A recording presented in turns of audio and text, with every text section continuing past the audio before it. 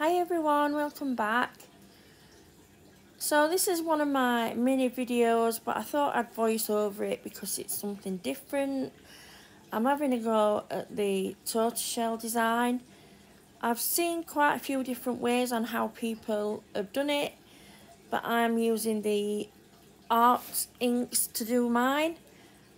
So I've just put a coat of the ballerina on this nail and matte top coated it and now I'm coming in with the art ink. This obviously is the yellow one.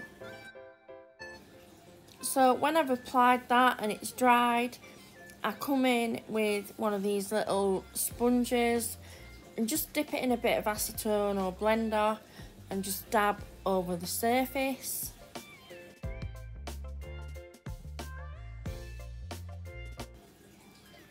I'm now coming in with the brown art ink and I'm just creating those shapes.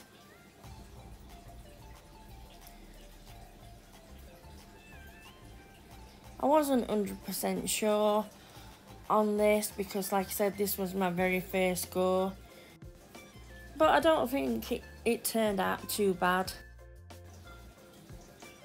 So it's just a case of applying that ink, blending it applying a bit more, blending it until you're happy with what you've got.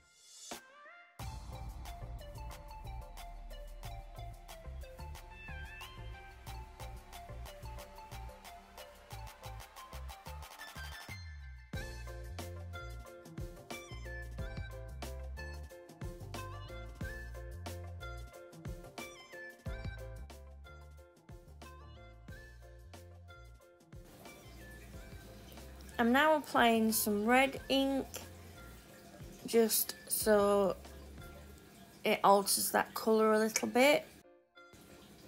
I'm going to be honest with you, it's not very rare that I've I've used these inks. In fact, I think this is about the second time. But I just wanted to try something different. So when you're happy with your spots, I then go over it with the orange ink and I dab over it again with my little sponge.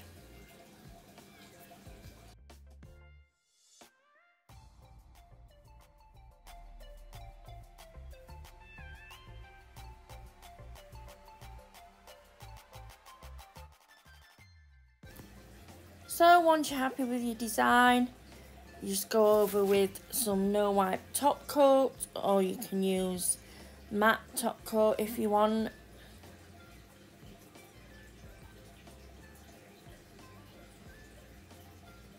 And before I put that in my lamp to cure, I just come in and dab on some little bits of gold leaf. Just as to the design.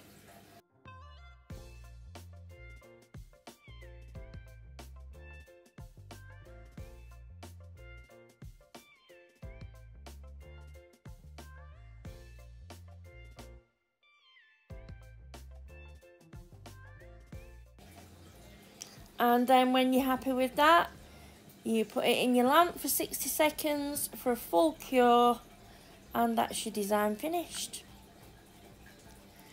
So let me know guys what you think to this. Um, yeah leave me a comment.